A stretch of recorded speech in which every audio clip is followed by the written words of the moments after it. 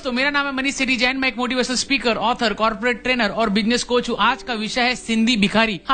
कभी नहीं कभी नहीं दोस्तों। सिंधी लोग कभी भी भिखारी हो ही नहीं सकते। मैंने एक भी सिंधी भिखारी देखा नहीं है, न शायद कभी फ्यूचर में देखूँगा, क्योंकि ये लोग इतने हार्ड वर्किंग होते हैं। ये जो कम्युनिटी है, ये कम्युनिटी हमेशा जो है कर्म प्रधान कम्युनिटी है। हमेशा हार्ड वर्किंग करना पसंद करती है। हमेशा जो है मेहनत करना पसंद करती है। कुछ ही कम्युनिटी इस धरती पर ऐसी है जिनके डीएनए में बिज़नेस है। उसमें से एक कम्युनिटी जो है वो सिंधी कम्युनिटी है। सिंधी कम्युनिटी से मैंने कई सालों से व्यापार किया है। मेरे लाइव सेमिनार से लेके मेरे कॉर्पोरेट ट्रेनिंग में बहुत सारे सिंधी क्लाइंट्स है। और मेरी प्लाईवुड की फैक्ट्री है। उस फैक्ट्री के अंदर हज़ारों जो है सिंधी लोगों को मैंने माल अभी तक दिया है और दे रहा हूँ। तो इस कम्युनिटी की कुछ खास बातें मैं आपको बताना चाहता हूँ ताकि आपको ये पता चल जाए कि ये कम्युनिटी समृद्ध क्यों है? ये कम्युनिटी ने अपने आप को सक्षम या समृद्ध कैसे बनाया? जब वो सिंध छोड़ के उन्होंने इंडिया के इस पार्ट में रहना स्वीकार किया डिसाइड किया तो क्या हुआ? उनके पास में कुछ भी नहीं था। सब घर बार वो छोड़ के वहाँ से आए थे। खाली हाथ यहाँ आए थे, लेकिन आज की तारीख में ये है कि इंडिया की बहुत बड़ी इकोनॉमी सिंधी कम्युनिटी के ऊपर डिपेंडेंट है। इंडिया के जीडीपी में इनका बहुत बड़ा कंट्रीब्यूशन है। दोस्तों, इस कम्युनिटी के बारे में कहा जाता है कि ये लोग बहुत कंजूस होते हैं। नहीं, बिल्कुल भी नहीं, ये लोग कंजूस नहीं होते। मैंने बहुत सारी कम्युनिटी के बारे में पढ़ा है और देखा है। बहुत सारी कम्युनिटी क्या करती है? आमदनी, अठन्नी, खर्चा, रुपया, कमाई कम होती है, खर्चा ज़्यादा कर लेते हैं। लेकिन ये लोग जो है कमाई ज़्यादा करते हैं और खर्चा कम करते हैं। और बाकी के जो लोग ऐसा नहीं कर सकते, वो क्या करते हैं? इन लोगों को कंजूस बोलते हैं। जी हाँ दोस्तों, ये लोग कंजूस नहीं होते, ये लोग प्रैक्टिकल होते हैं। ये ईएमआई के चक्कर में फंसना नहीं चाहते हैं।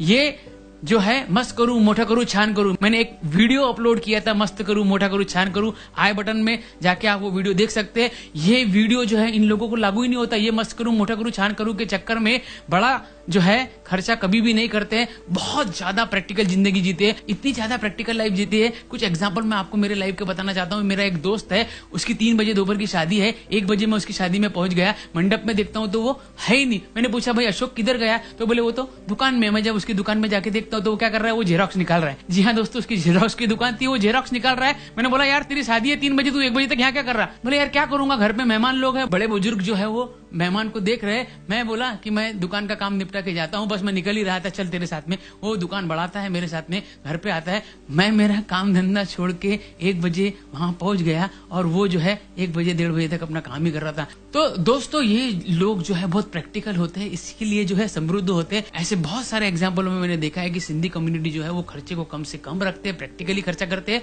और आमदनी को हमेशा ज़्यादा रखते मेरा एक दोस्त है, उसकी साड़ी की दुकान है, दस बाय दस की साड़ी की दुकान होंगी। मैंने देखा उसके पिताजी को कई सालों से जो है वो साड़ी की दुकान चला रहे दस बाय दस की दुकान रही होंगी। अभी चार पाँच दुकान और खुल गई, लेकिन ये जो दुकान में उसके जो पिताजी बैठते हैं, वो क्या करते हैं कि नौ बजे दुकान पे हैवी नाश्ता करके आके बैठ जाते हैं और तीन बजे, चार बजे जो है वो खाना खाते खाना खाते खाते भी अगर कोई कस्टमर आ जाता है तो वो क्या करते हैं वो हाथ को कपड़े से पूछते हैं और बोलते आओ आओ, बहन जी, बस खाना शुरू ही कर रहा था। पहले आपको मैं कपड़े दिखा देता हूँ और बाद में जो है वो खाना खा लूँगा। इतने प्रैक्टिकल होते हैं और वो जो बहन जी है, जो साड़ी देखने के लिए आई है, उसने पचास सौ, डेढ़ सौ साड़ी भी देख ली और उसके बाद भी उसको साड़ी पसंद नहीं आई। तो वो क्या बोलते हैं, बहन जी, एक काम करना, दो दिन बाद में नया स्टॉक आने वाला है, आप ज़रूर आना, आपको उसमें से साड़ी ज़रूर पसंद आएँगी। बिल्कुल सही बात, दोस्तों।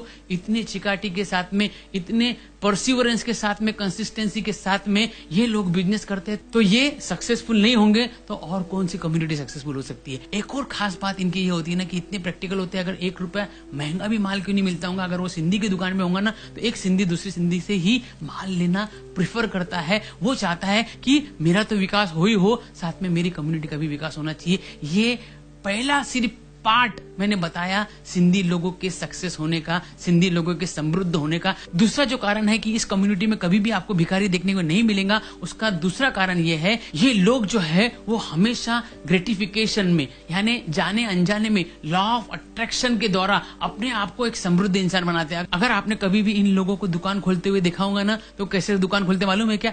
वो जो ताला होता है ना, वो ताले को ऐसे दस बार नमस्कार करेंगे, फिर प्यार से इज़्ज़त के साथ में ताला खोलेंगे, फिर दूसरे को नमस्कार करेंगे फिर खोलेंगे, फिर शटर खोलेंगे, शटर खोलने के बाद में फिर जो है उनके ऑफ़िस में, उनके दुकान में, उनके घर में, भगवान के फ़ोटो के बाजू में उनके पूर्वज का, पिताजी का, दादाजी का फ़ोटो होता ही होता है। हर रोज जो है वो उसको अगरबत्ती लगाते हैं, भगवान वो वो प्रार्थना करते हैं कि सबका भला हो। जाने अनजाने में वो इतने ज़्यादा ग्रेटिफिकेशन कृतज्ञ धन्यवाद देते रहते हैं लोगों को कि उसके कारण से लॉ ऑफ़ अट्रैक्शन उनके फेवर में रहता है और हमेशा जो है उनके यहाँ में समृद्धि रहती है।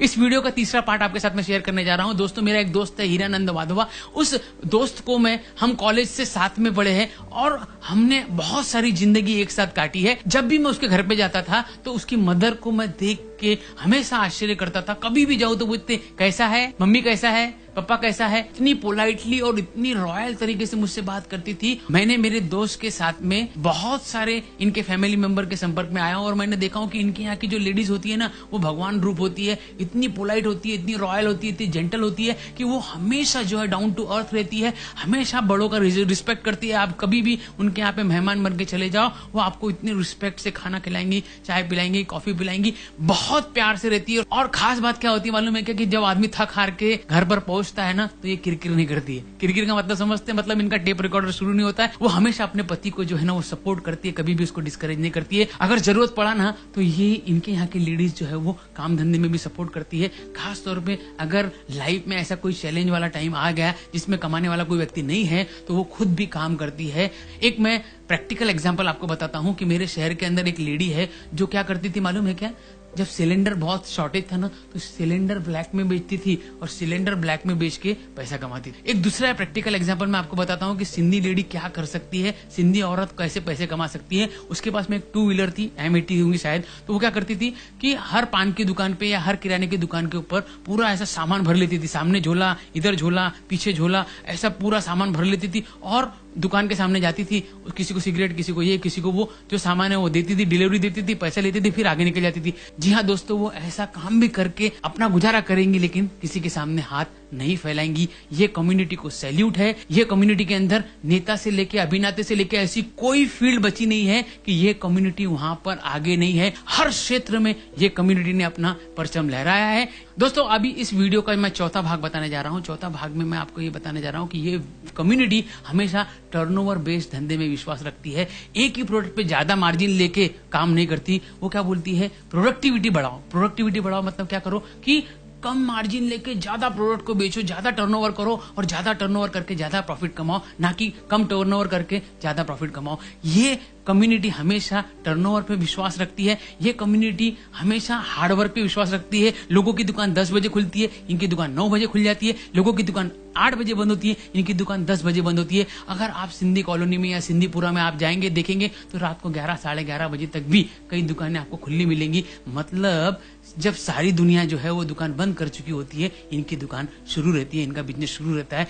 इतनी प्रैक्टिकल, इतनी बढ़िया कम्युनिटी हमारे देश में है। इस कम्युनिटी की जितनी भी क्वालिटीज है और जितनी प्रैक्टिकल लाइफ ये जीते हैं, उसका कुछ परसेंट भी अगर हमने अपने लाइफ में ला लिया तो हमको सक्सेसफुल होने से कोई रोक नहीं सकता है। तो दोस्तों, ये कम्युनिटी को मेरा सलाम है। इस कम्युनिटी से सीखने लायक बहुत सारी चीज़ है। अगर आपको लगता है कि ये वीडियो देख के और भी लोगों का फ़ायदा हो सकता है तो उन सब लोगों को ये वीडियो फॉरवर्ड कीजिए। अगर आपको ये वीडियो अच्छा लगा तो इसको लाइक कीजिए। अगर आपने अभी तक मेरा चैनल सब्सक्राइब नहीं किया होगा तो सब्सक्राइब कीजिए। मिलते हैं अगले वीडियो में। Thank you very much